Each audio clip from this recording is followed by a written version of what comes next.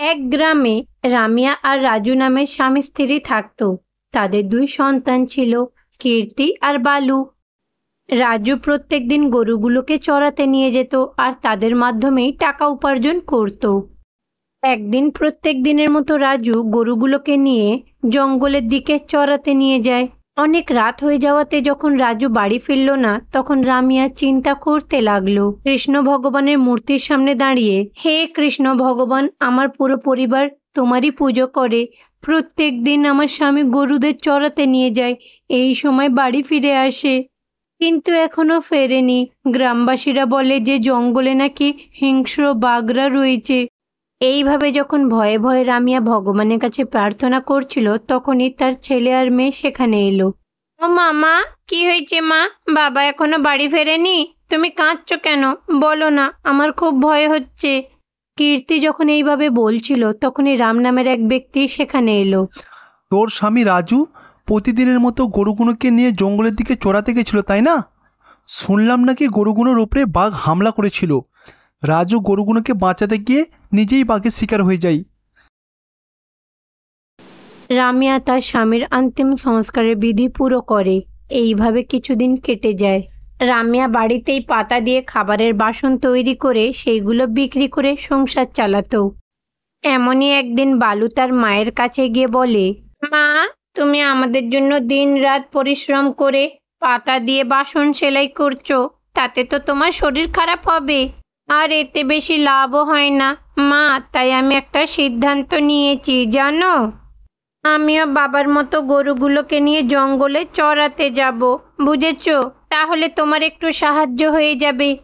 তোমাদের বাবার সাথে যা হয়েছে সেটা ভেবেই আমি ভয়ে কাঁপতে থাকি। তোমাদেরকে আমি আর সেখানে যেতে দেবই না। মা আমরা যে ভগবান কৃষ্ণকে শ্রদ্ধা করে পুজো করি উনিও তো গরু চড়াতে যেতেন। তাই না? বাবার সাথে এমন হয়েছে বলে এটা তো জরুরি না যে আমাদের সাথেও তাই হবে। আর এমনিতেও মা, তুমিই তো বলো, যখন যেটা হওয়ার থাকবে, সবই তো কৃষ্ণ ভগবানের ইচ্ছাতে হয়। এইভাবে কীর্তি বলে। তার কথা শুনে রামিয়া কৃষ্ণ ভগবানের মূর্তির সামনে যায়। হে কৃষ্ণ ভগবান, আপনার ভরসাতে আমার বাচ্চা দুটোকে আমি জঙ্গলে পাঠাচ্ছি। ওদের দুজনকে রক্ষা করো। এইভাবে রামিয়া সব দায়িত্ব কৃষ্ণ ভগবানের ওপরে ছেড়ে দেয়। পরের দিন থেকেই কীর্তি আর বালু গরুগুলো নিয়ে জঙ্গলে যেতে লাগল।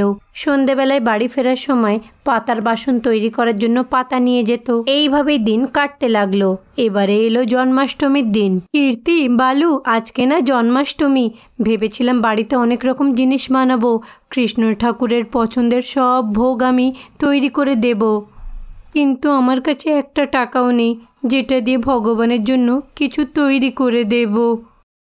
মা, আমরা যাদের গরু জঙ্গলে চড়াতে নিয়ে যাই, বলেছে আজকে টাকা দেবে। যাই, গরুটাকে নিয়ে গিয়ে চড়িয়ে নিয়ে আসি। সন্ধেবেলায় তাড়াতাড়ি ফিরবো। ওনার গরু ফিরিয়ে আমরা টাকা আনব। দিদি, চলো তাড়াতাড়ি। তারপরে কীর্তি আর বালু একসাথে গরুগুলোকে নিয়ে জঙ্গলের দিকে বেরিয়ে পড়ে। আরে ওই বালু, তাড়াতাড়ি চল। গরুদেরকে ঘাস খাওয়াতে হবে। আবার সন্ধ্যের মধ্যে বাড়ি ফিরে আসতে হবে। তাড়াতাড়ি আয়। এইভাবে যখন আওয়াজ দিচ্ছিল, তখনই হঠাৎ করে তাদের পুরনো বাড়িটা কীর্তির গায়ে পড়ে যায়। কীর্তি ওই বাড়ির ভেতরে আটকে পড়ে। বালু এটা শুনে দৌড়ে বাইরে এলো। বালু অনেক চেষ্টা করে কীর্তির গায়ে পড়ে থাকা ওই বাড়ির টুকরোগুলোকে সরাতে। কৃষ্ণা! যেই কৃষ্ণ ভগবানকে আওয়াজ দিল, সঙ্গে সঙ্গে তাদের বাড়িতে থাকা মূর্তি দিয়ে একটা আলো বেরিয়ে বালুর গায়ে মিশে যায়। তারপরে আবার কি? বালু কৃষ্ণর রূপে বদলে যায়, নিজের এক হাত দিয়ে সব কিছু সরিয়ে কীর্তিকে বাঁচালো। কীর্তিকে বালু তুলে খাটিয়াতে শোয়ালো। নিজের মুকুটে থাকা ময়ূর পালকটাকে কৃষ্ণ ভগবান কীর্তির গায়ে বুলিয়ে দেয়। এক মুহূর্তে কীর্তির সব চোটগুলো গায়েব হয়ে যায়। তারপরে ওই পালকটাকে কৃষ্ণ ভগবান পুরো বাড়িতে ঘোরালো। পুরনো শিথিল হয়ে যাওয়া বাড়িটা একেবারে পাকা বাড়িতে পরিবর্তন হয়ে গেল। আর বাড়িতে জাদুই তিনটে সিন্ধুকও হাজির হয়। একটাতে সোনা, একটাতে গহনা, আর একটাতে টাকা ছিল। রামিয়া, কীর্তি, আমি তোমাদের বাড়ির কৃষ্ণ ভগবান।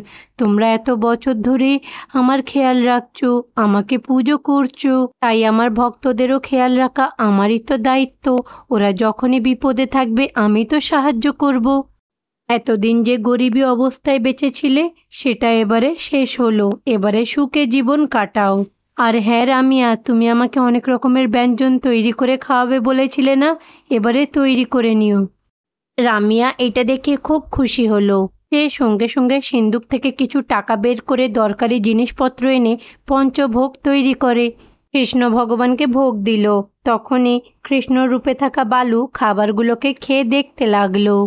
আহা, আমি তো সন্তুষ্ট হলাম। এবারে শুধু একটু খাবারের জন্য মাখন যদি পেয়ে যাই, মনটা তৃপ্তি পাবে। আরে কৃষ্ণ ভগবান, আপনি মাখন খাবেন, একটু দাঁড়ান, আমি এক্ষুনি মাখন নিয়ে চলে আসছি।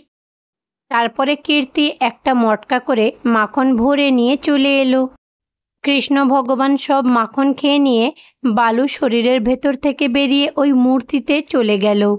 রামিয়া এটা ভেবে খুশি হলো যে তার মেয়েকে রক্ষা করার জন্য কৃষ্ণ ভগবান তার ছেলের রূপে এসে তার মেয়েকে বাঁচালো। রামিয়া ওই টাকাগুলো দিয়ে অনেকগুলো গরু কেনে আর ওই গরুগুলোর সাহায্যে টাকা উপার্জন করে তারা সুখে শান্তিতে থাকতে লাগল। এক গ্রামে কীর্তি আর বালু নামের দুটো বাচ্চারা থাকতো। তাদের মা বাবা হলো সুজাতা আর বীর। তারা খুবই গরিব ছিল, কিন্তু তাদের মা বাবা কোনোদিন তাদেরকে অভাবের কষ্ট বুঝতে দেয়নি। একদিন রাখি বন্ধনের উৎসবের কারণে কীর্তি তার বাবার কাছে গিয়ে বলে, বাবা, কালকে তো রাখি বন্ধন। আমি ভাইয়ের জন্য রাখি কিনতে বাজারে যাচ্ছি। আমাকে টাকা দাও না। হ্যাঁ মা অবশ্যই। আমি এখনই তোমাকে দিচ্ছি। অন্যদিকে বালু সুজাতার কাছে গিয়ে বলে মা মা কালকে তো রাখি বন্ধন। দিদি যখন আমাকে রাখি বাঁধবে ওকে কোনো উপহার দিতে হবে তো। তাই উপহার কেনার জন্য টাকা লাগবে। তুমি আমাকে দাও আমি বাজারে গিয়ে দিদির জন্য উপহার আনব। হ্যাঁ হ্যাঁ বাবা। তুই এখানে দাঁড়া, তোর বাবাকে আমি জিজ্ঞাসা করে আসি। সুজাতা এইরকম ভেবে তার স্বামীর কাছে গেল। গিয়ে দেখল বীর কিছু একটা চিন্তা করছে। কি গো, তুমি কি চিন্তা করছ? কি আর বলব সুজাতা? আমি তোমাকে কথা দিয়েছিলাম যে আমাদের অভাব বাচ্চাদেরকে বুঝতে দেব না। কিন্তু আমার কি মনে হয় জানো? আমরা ও ছোট ছোট খুশিগুলোকেও পুরো করতে পারছি না। আমাদের মেয়ে কীর্তি আমার কাছ থেকে রাখি কেনার জন্য টাকা চেয়েছিল কিন্তু রাখি কেনার মতো আমার কাছে টাকা নেই। সেইটাই চিন্তা করছিলাম সুজাতা। আরে এক্ষুনি তো বালু আমার কাছে গিয়ে কীর্তির জন্য উপহার কিনবে বলে টাকা চাইছিল। তাই তো তোমার কাছে এলাম। এইভাবে মন খারাপ করে সুজাতা বলে দুজনেই তাদের অবস্থার কথা ভেবে কষ্ট পেল। সুজাতা কিছু একটা ভেবে সে ঘরের ভেতরে গিয়ে অনেক রকমের সুতো দিয়ে সুন্দর একটা রাখি তৈরি করে ফেলে। বাড়িতে থাকা একটু আটা দিয়ে সে মিষ্টি তৈরি করে ফেলে। এই সব কিছু দেখে বীর বলে, সুজাতা, তোমার বুদ্ধিমত্তার কারণে একটা টাকা না খরচা করেই এই সমস্যা দেখে তো মুক্তি পেলাম। শুনেছি শহরেতে একটা ভালো স্কুল আছে, ফিসও কিন্তু অনেক কম। তারপরে সবাই বলা কয়া করছিল, বাচ্চাদেরকে নাকি খুব ভালো করে পড়াশোনা করায় সেই জন্য চিন্তা করছিলাম আমাদের বাচ্চাগুলোকেও যদি ওখানে দেওয়া যায়। হ্যাঁ গো, আমরা এটাই করব। প্রত্যেক দিন দু তিন কিলোমিটার হেঁটে যায় তার চেয়ে বরং ভালো, শহরে না হয় হোস্টেলেই থাকুক। সেখানে তারা মন দিয়ে পড়াশোনাও করতে পারবে। কিন্তু এই ব্যাপারে রাখিটা কেটে যাক, তারপরে ওদের বলব। তারপরে কীর্তি আর বালু ভালো করে তৈরি হয়ে সেখানে এলো। বালু, চল, তোকে রাখি বাঁধবো। হ্যাঁ দিদি, আসছি। মা না আসলে একটা নতুনত্ব মিষ্টি তৈরি করেছে, ওইটা নিয়ে আসি। বালু মিষ্টিটা নিয়ে তার দিদির কাছে এলো। যখন কীর্তি তার ভাইকে রাখি বাঁধছিল, তখন তাদের মা বাবা দাঁড়িয়ে দেখল। রাখি বাঁধার পরে বীর তাদের দুজনকে বলে, বাচ্চারা, আমি তোমাদের জন্য একটা ভালো স্কুল খুঁজেছি, আর সেখানেই ভর্তি করাবো তোমাদেরকে। কাল থেকে তোমাদের দুজনকে দু তিন কিলোমিটার হেঁটে স্কুলে যেতে হবে না। বাপরে আমাদের হোস্টেলে থাকতে হবে। না বাবা না তোমাদের ছেড়ে থাকতে পারব না। এইভাবে বাচ্চাদের না বলার পরেও মা বাবা মনটাকে শক্ত করে তাদের ভবিষ্যতের কথা ভেবেই তাদেরকে হোস্টেলে পাঠিয়ে দেয়। সেখানে ভবানী নামের এক টিচার ছিল। সে কিন্তু প্রচণ্ড রাগী ছিল। সামান্য সামান্য কথায় বাচ্চাদের বকা দিত। একবারও ভাবতো না যে বাচ্চারা অনেক ছোট। আর যদি রেগে যেত, তাহলে মারতো। এইভাবে বালু আর কীর্তি ভবানীর হাতে মার খেতে খেতে এক বছর কাটিয়ে নিল। দেখতে দেখতে রাখি বন্ধনের দিন চলে এলো। আমরা তো শুধু নামেই দুই ভাই বোন একই জায়গায় থাকি, কিন্তু ভাইকে দেখতে তিন মাস হয়ে গেছে। যেমনই হোক, কালকে রাখি, ভাইকে আমি রাখি বেঁধেই ছাড়বো। ভবানী টিচারকে যেমন করে ফাঁকি দিয়ে আমি আমার ভাইয়ের কাছে যাবই। একদিকে যখন কীর্তি বালুর ব্যাপারে ভাবছিল, অন্যদিকে বালুও তার দিদির ব্যাপারেই ভাবছিল। মা, বাবা তো আমাদের এইটা ভেবে এখানে ছেড়ে দিল, যাতে আমরা ভালো করে পড়তে পারি। কিন্তু ওদের কি করে বোঝাবো যে আমরা কত কষ্টে আছি এখানে? আর সব থেকে বেশি তো ওই ভবানী টিচারের ভয়ের কারণে আমি দিদির সাথে দেখা করতেই পারি না। কালকে তো রাখি, দিদির সাথে যেমন হোক করে দেখা করব। এইভাবে বালু ভাবছিল।